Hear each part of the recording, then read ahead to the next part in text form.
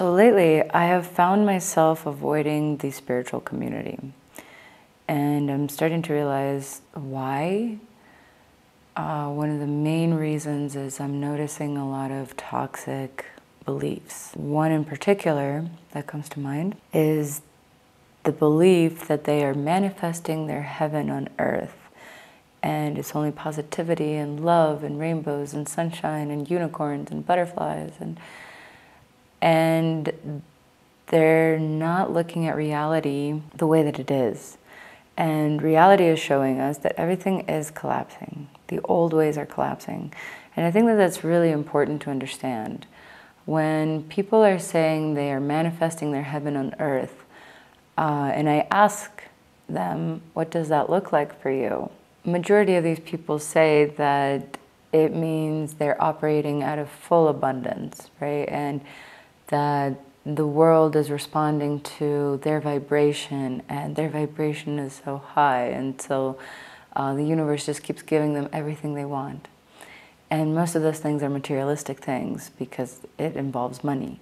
Whether or not you're using your money to buy land or to build retreat centers, it's still revolving around money and materialistic things. That's a materialistic thing to want to build a retreat. I'm not saying it's bad, there's nothing wrong with that. That's not the point of this. What I'm trying to say is that if you are building your heaven on earth using the old ways, the old systems of the matrix, then 97% of the world is still starving. How is that heaven on earth? The planet is still suffering because of the old system. So, your heaven on earth, this idea that you are operating out of abundance and you're just spending money left and right because you have so much money coming in. Notice that your heaven on earth is still revolving around money. And money is an illusion. Money is not a real energetic exchange. It's not, it's paper. It's our belief that money holds value is what's giving it energy. But it's not an energetic exchange. When you pay for something, that's not a real energy exchange. What an energy exchange is, is when you gift something to someone and you feel so good about just giving it without any expectation of receiving. And they appreciate your gift and they just thank you from the bottom of their heart. Gratitude. Gratitude is the real energetic exchange here, not money. Money is paper, and paper is only good for two things burning it and writing on it.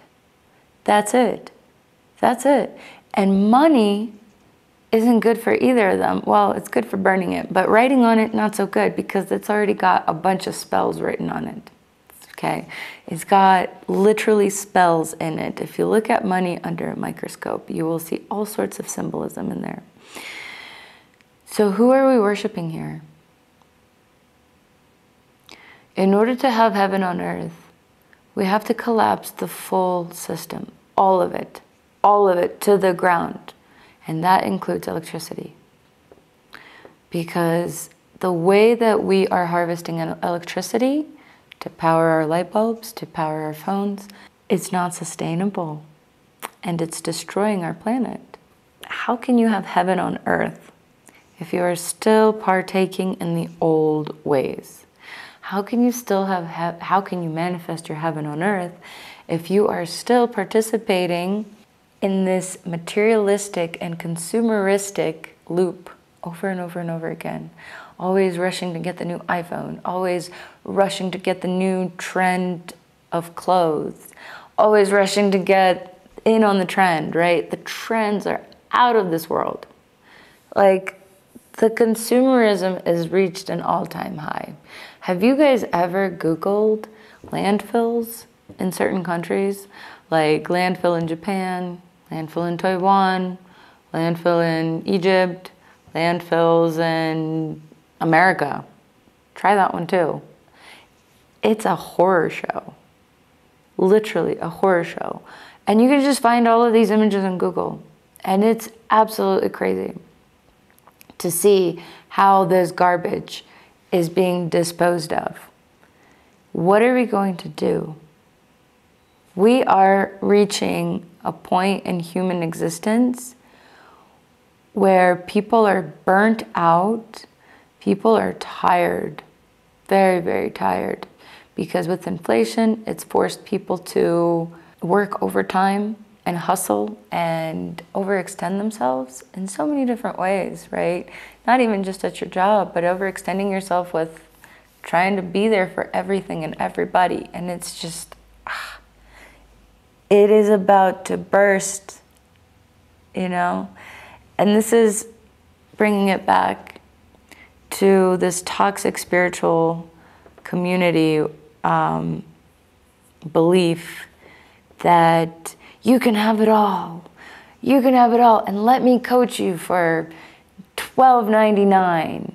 You know, for the next ninety days. I just need a thousand and two hundred $99 of your money so that I can teach you how you can be super abundant and make all of this money yourself.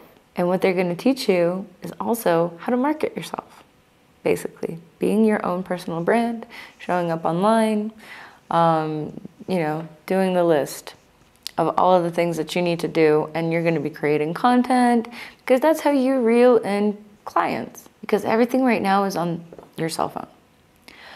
So when I'm telling you that there is a collapse coming, and it's a lot greater than just an economic collapse, this collapse includes your electricity. Okay, now just take a moment to really imagine that. What does that look like? If the world was just to go black, I mean, sure, you get your sunrise, sunset, whatever, but you have no electricity. You have no way of powering your air fryer, your blender, um, sure, your stove. My stove runs on gas.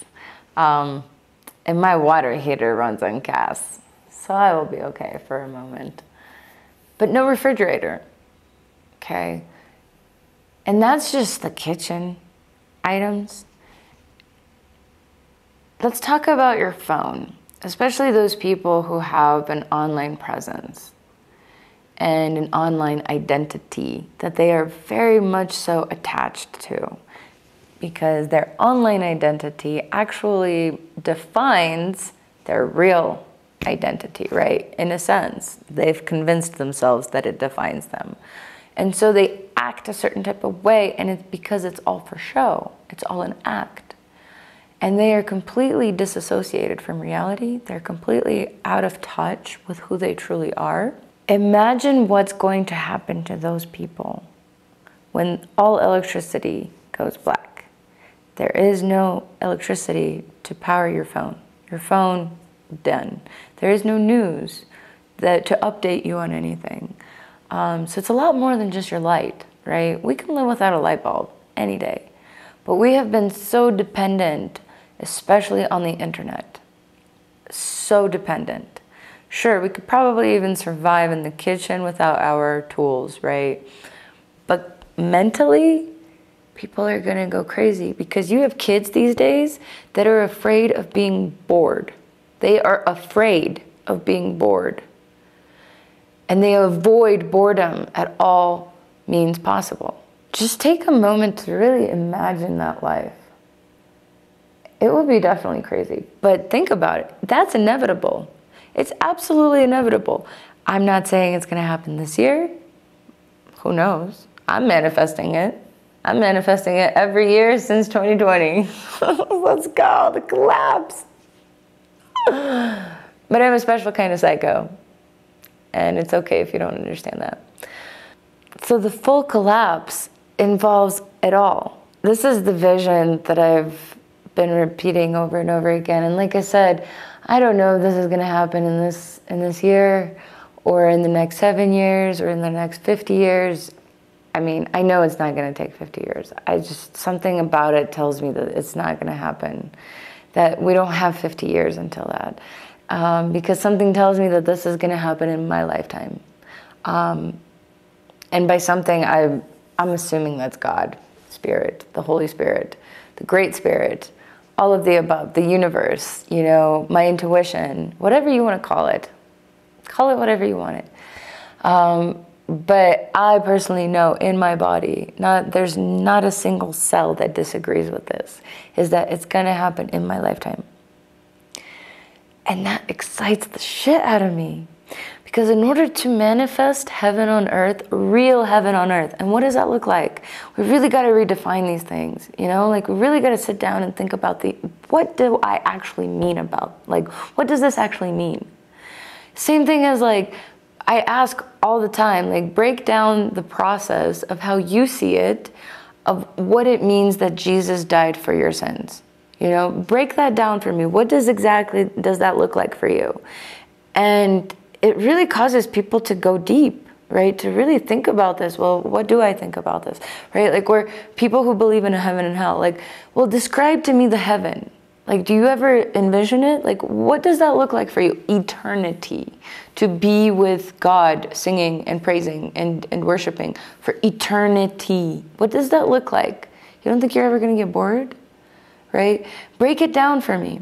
We're not going to get into that topic right now because that's too religious. We're just going to stick to the reality for a moment. Break it down. What does the heaven on earth mean for you? For me, it means we all win. We all win, the planet included. The planet is thriving, thriving. That is heaven on earth for me, where we are united with real communication, face to face communication, with physical touch. And I'm not talking about romantic, I'm just talking about friends. Friends are not afraid to, to touch, to embrace, to hold, to snuggle, like to, to really just give each other affection without it turning into something perverted or without it turning into anything. It's just real love just pouring out of your heart because you love this person in your life and you just you you appreciate them. You want them in your life because you see them for who they are and you don't need anything from them. This feeling of real love is so intense. It's the greatest thing that is on this planet and yet most people don't experience that because they are too busy with their faces in their phones. And they're so disconnected from reality, so disconnected from one another. It's actually terrifying.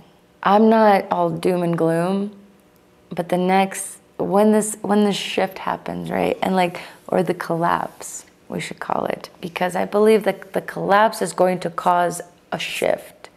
And what I'm seeing is that the collapse of electricity, right, and all of these other things, which powered powers down the whole grid, the whole electrical grid down. That's going to allow our psychic abilities to kick in. You know?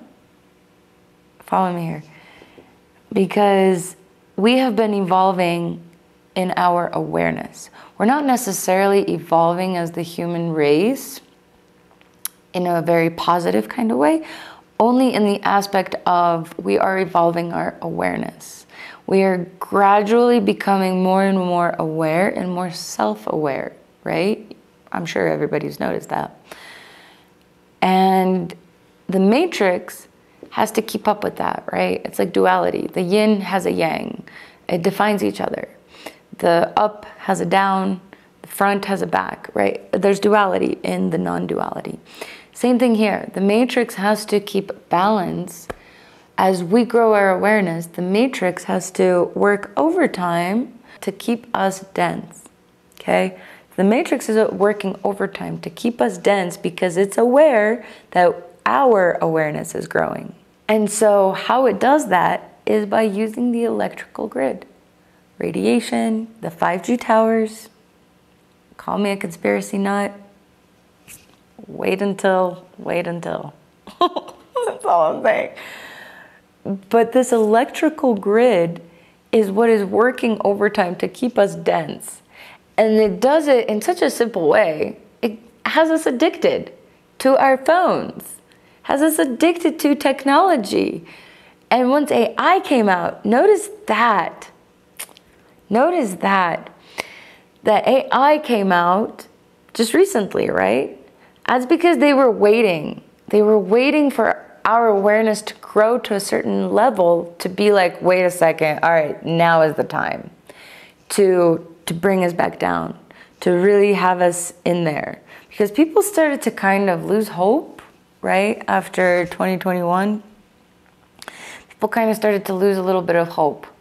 And all of a sudden, you couldn't motivate people anymore because the option of unaliving yourself was available to most people during that time because people kind of lost purpose of all of it. They're like, oh, I lost taste to to go to work and to slave away nine to five for a job that means nothing to me, but I'm only there to make money. And I'm still making a capped paycheck every two weeks while the while the billionaires just keep getting richer. And people begin to be so aware, right, of what's happening in reality. Sure, most people don't talk about it. They kind of numb themselves with different substances, social media included, or gaming, that's also a substance, uh, a numbing substance there are people that are aware, they're just numbing it. We're all aware because this energetic blanket that is coming down like a horseman, that's a different reference that I can get into. It's coming down and it's forcing awareness on everybody equally. Now, the numbing substances are not working as well anymore as they did a year ago. Okay, now it's becoming a lot more intense.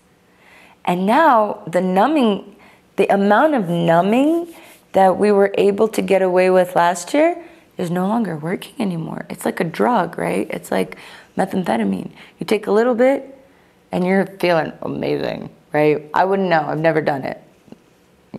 I know people. And then the more you do it, the more you need in order to reach that same level of high. That's the same thing that is happening with the numbing substances that people are used to using. They're no longer working as well as they were last year. So they're needing to, to do more, something else. And now you see people with like several screens. One screen, they're like scrolling on Facebook, another screen is playing a movie, and their phone or their iPad, they're going through their TikToks. And it's crazy. It's so crazy. This is not multitasking. This is numbing. You are so unaware of reality in your body, and you are not in the present moment. You are just wasting away your life at this point. God bless. God bless you. So something's got to give, right? We have reached an all time high with all of this. Something's got to give. And like I said before, in order to manifest heaven on earth, we got to start fresh. Okay, we got to start super fresh, clean slate. And the best way to do that is to just turn off the electricity. And I think that that's exactly what's coming. Who's to turn it off? I don't know. I don't know. Consciously, I'm manifesting it, you know, I'm manifesting that like I'm turning it off. I'm turning it off across the entire globe, and I'm doing this for all of humanity. of course, it's gonna be fucking hard. Of course. But imagine, imagine once that happens, it will actually force people to unite. It will force people to work together to collaborate. And this boredom stage that kids are so afraid of, this is what's going to happen. You're not going to have a phone anymore. So, this boredom is going to kickstart your creativity. And all of a sudden, we're tapping into free energy sources, not electricity, where people are becoming billionaires off of. You know what I'm saying? Sometimes I don't even know what I'm saying. Speaking words. So to conclude, to conclude this thought, um, I would like to share my hymn that I received in the jungle when I was doing a dieta work in April of last year. So it's almost been a year. Wow, time is flying. It's almost been a year I, since I quit cannabis. I quit cannabis March 15th of 2023 and we are March 3rd. So I got like less than two weeks before I hit my one year of no cannabis. So I am so proud of myself. Very proud of myself. It has definitely helped me to to embrace the shifts that are coming, the shifts that are happening. I'm feeling the shifts so much clearer, and I'm so grateful that I stopped numbing myself with that substance. Um, and don't get me wrong, I think marijuana is a beautiful medicine. It is a beautiful medicine, and it has so much to teach us. I was abusing it, and I had a very unhealthy relationship with the medicine. So it was not serving me okay i was abusing it. And so i was i'm very grateful that i quit. So anywho long story longer. Uh, i received this hymn in the jungle. Uh, during, during my diet i was completely isolated in the jungle by myself. I had food delivered to me once a week or once a day. And the rest of the time i was completely on my own just listening to the jungle and really being with myself and I received this hymn on day two um, because I was, I felt like I was losing my mind. I really did. And this hymn came through. There is much wisdom to be found in the silence. There is much power you will find in the stillness. The time has come to get straight with your God. The judge is you, and it's always been that way. There is much wisdom to be found in the silence. There is much power you will find in the stillness. The time has come to get straight with your God. The judge is you, and it's always been that way. Jesus Christ is not my Savior, He's my brother, and He came before us to show the way. The way to love each other and forgive ourselves, to come together in peace and harmony. There's nothing left to do but sit in silence. In the stillness you will find your God. Look deep inside yourself to find the peace, the love, the joy, the Trinity. There's nothing left to do but sit in silence. In the stillness you will find your God. Look deep inside yourself to find the peace, the love, the joy, the Trinity. We need each other for this journey. Mirror back the pain and fear and transmute it into love. There's nothing left to do but love and to find internal peace. The shift to oneness is coming now. The earth remains, but systems are collapsing. The human race has reached an all time high. Awareness growing of where we all come from. From love we start, and to love come back. The earth remains, but systems are collapsing. The human race has reached an all time high. Awareness growing of where we all come from. From love we start, and to love come back. Brothers, sisters, Sister, let us gather and come back to the true oneness. Help each other to walk this path. And brother, sister, no more fighting. Let's forgive one another before time comes to an end. And now we know that time is an illusion. It is dissipating quickly back to nothing. Don't be afraid, the void is where we came from. There is no fear allowed where we are going. And now we know that time is an illusion. It is dissipating quickly back to nothing. Don't be afraid, the void is where we came from. There is no fear allowed where we are going. We are energetic beings, and to this we're coming back. We are light and have always been that. There is no fear, it's all illusion. Time to let go of the mind and ascend back home to God. There is a message waiting to be found in silence.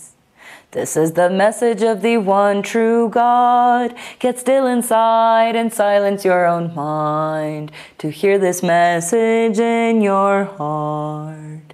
There is a message waiting to be found in silence.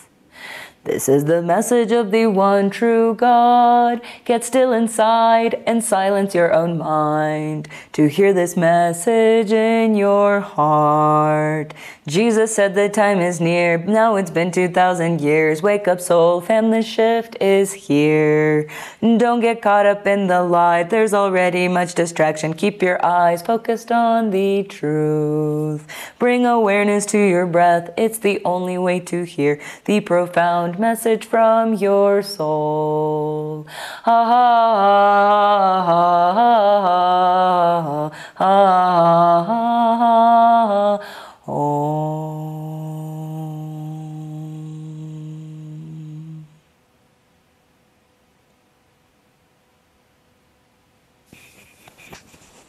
Thank you.